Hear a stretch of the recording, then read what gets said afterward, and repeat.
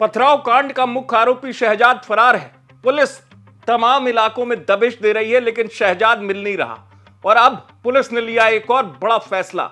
शहजाद को पकड़ने के लिए पुलिस ने जो फैसला लिया है, पुलिस को लग रहा है कि शहजाद जल्द ही गिरफ्त में होगा।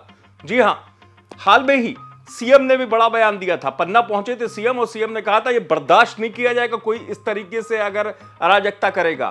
तो सीएम की चेतावनी का असर और पुलिस फिर एक बार एक्शन में। पहले हवेली टूटी और अब शहजाद को पकड़ने के लिए पुलिस ने रख दिया है इनाम।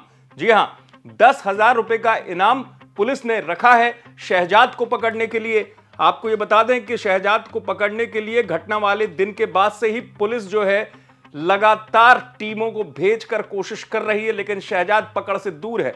यहाँ तक कि रात में पुलिस चेकिंग करती है, यूपी से लगे हुए बॉर्डरों पर वाहनों की।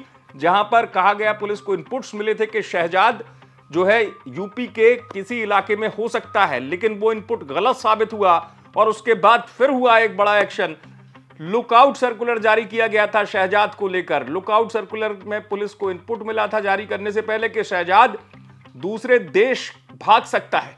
यही वजह है कि पुलिस ने अब तक पकड़ में नहीं आए। शहजाद के लिए अब इनाम घोषित कर दिया है। और जो भी अभी फरार आरोपी हैं, अज्ञात आरोपी हैं, उनके खिलाफ दस हज़ार रुपये का इनाम एसपी सर ने अभी कल घोषित किया है। और हमारी टीम लगातार इसमें काम कर रही है और जो भी अभी फरार आरोपी हैं, उनको राउंड अप करने के लिए हमारा प्रयास चल रहा है। विश्वास है जल्दी हम सभी को इसमें दस हज़ार रुपए का इनाम जो है, पुलिस ने घोषित किया है। और दस हज़ार रुपए का इनाम घोषित करने के बाद खबर यह भी कि पुलिस की टीमें तमाम इलाकों में दबिश देगी।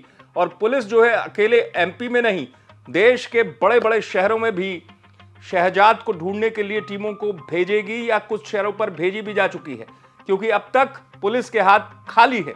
कई गिरफ्तारियाँ पुलिस कर चुकी है, लेकिन मुख्य आरोपी शहजाद पुलिस की गिरफ्त से दूर है। यही वजह है कि हाल में छतरपुर ज़िले आए, पन्ना भी आए सीएम और सीएम ने एक बार फिर चेतावनी दी और पुलिस भी अब शहजाद को पकड़ने के लिए ये बड़ा फैसला कर चुकी है। दस हज़ार के इनाम का ऐलान किया गया है और पुलिस को लग रहा है कि शहजाद जल्दी गिरफ्त में होगा। आप देखते रहे एमपी तक, छतरपुर से आप तक खबर पहुंचाई, लोकेश्वर ने